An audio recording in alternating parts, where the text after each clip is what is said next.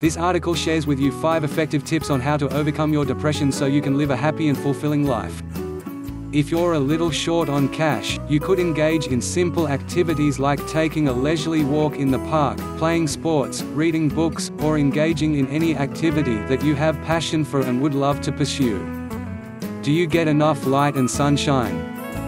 Did you know that a lack of exposure to sunlight is responsible for the secretion of the hormone called melatonin, which could trigger a dispirited mood and or a lethargic condition?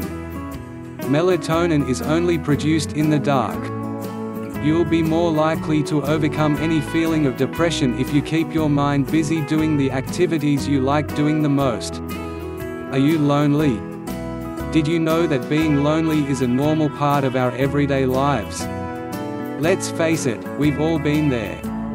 We get depressed when we fail in our exams, when we're rejected by the person we love, or when someone very close to us passes away. That's just part of life. But depression, however, can be more fatal than just plain loneliness. It could render lifelong consequences that could ruin your self-esteem, health, and well-being in the process.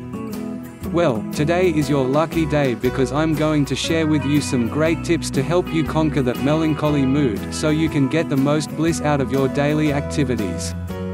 So, with that said, let's go to tip number one. Tip number one. Do you get enough light and sunshine? Did you know that a lack of exposure to sunlight is responsible for the secretion of the hormone called melatonin, which could trigger a dispirited mood and or a lethargic condition? Melatonin is only produced in the dark. What it does is it lowers the body temperature and makes you feel sluggish. So, if you are always cooped up in your room, with the curtains closed, it would be difficult to restrain yourself from staying in bed. This is the reason why many people suffer from depression much more often in winter than in the other seasons. It's simply because the nights are longer.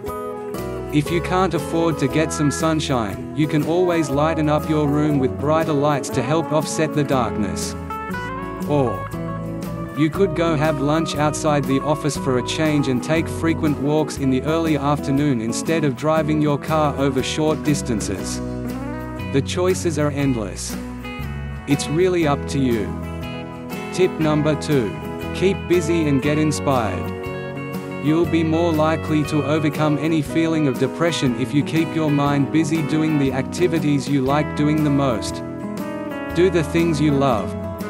If you're a little short on cash, you could engage in simple stuff like taking a leisurely walk in the park, playing sports, reading books, or engaging in any activity that you have passion for and would love to pursue. Also, set a goal. No matter how difficult or discouraging life can be, remain firm and have an unshakable belief that you are capable of doing anything you desire. With this kind of positive attitude, you will attain a cheerful disposition to beat the blues. Tip number 3. Take a break. Sit back and relax. I mean it.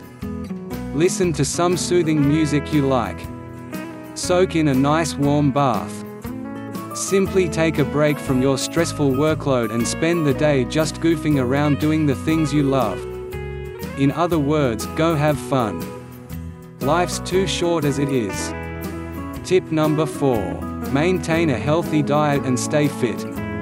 Avoid foods with lots of sugar, caffeine or alcohol.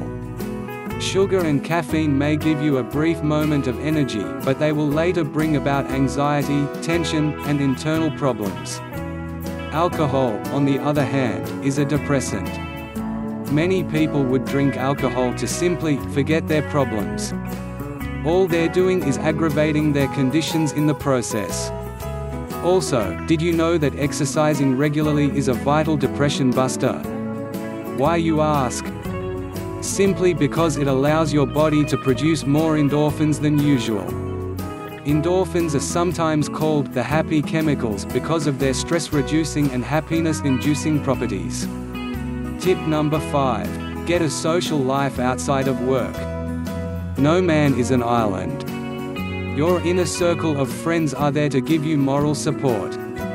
Spending time and engaging in worthwhile activities with them could give you a very satisfying feeling. and we all know, nothing feels better than having group support. And, never underestimate the power of touch. What I mean is, doesn't it feel so good when someone pats you on the back and gives you words of encouragement during your most challenging times? Hug or embrace someone today. Get intimate. Establish close ties with your family and friends. The love and care expressed by others could tremendously boost your immune system and fend off illnesses.